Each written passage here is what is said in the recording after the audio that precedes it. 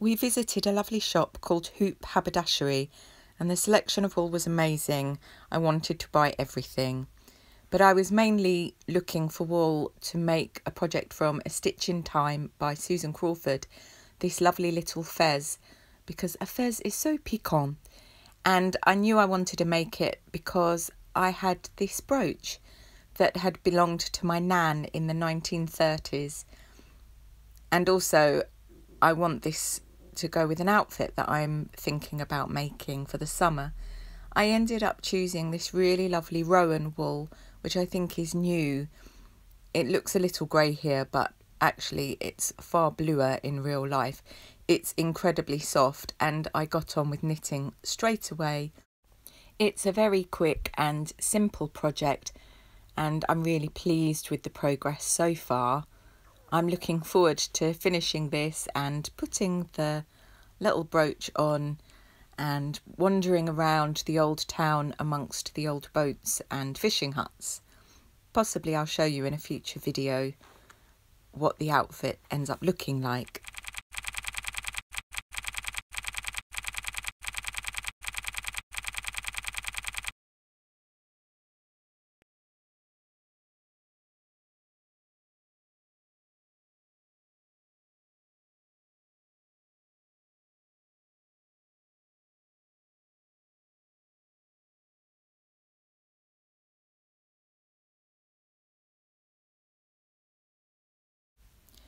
I'm a big fan of vintage style print patterns, but I don't know much about the company. I couldn't find much when I did a little bit of research on the old interwebby. I've made a few before and I've always really liked the patterns. They're a really good fit. I think this one is from the late 1950s, I should imagine. I really love the skirt with the big pocket details and all the styling of these pinafore dresses are just absolutely divine. I want to make all of them so that I can wear them.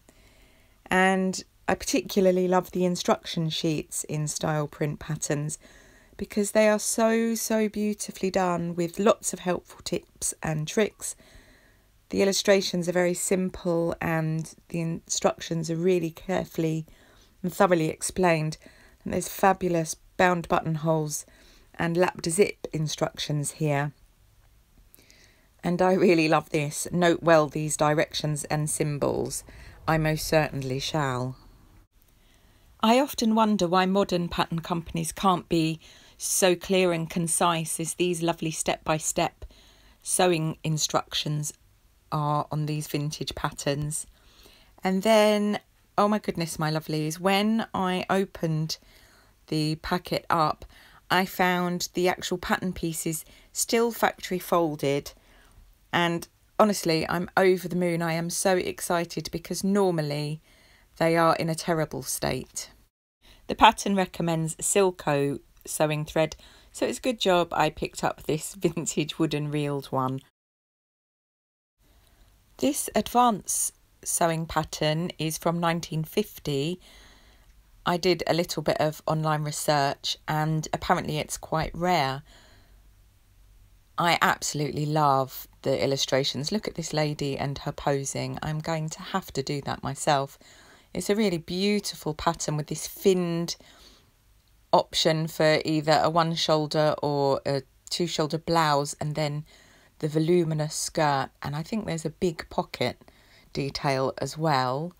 I'm always really fascinated by vintage sizing. Apparently, a size 12 is a 30 inch bust, um, which is very amusing.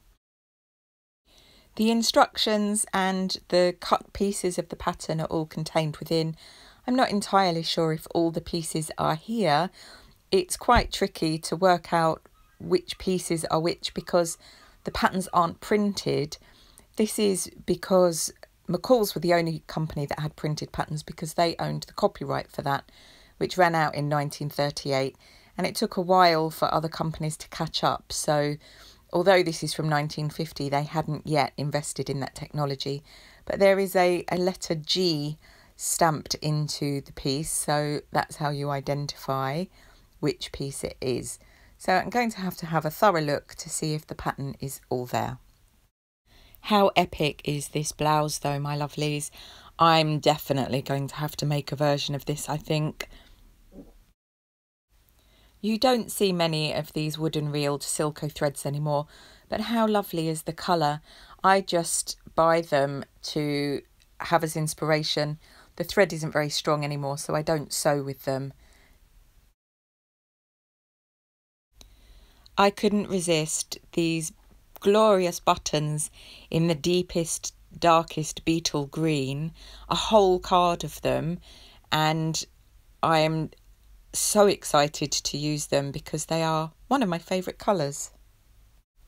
How incredible is this fabric?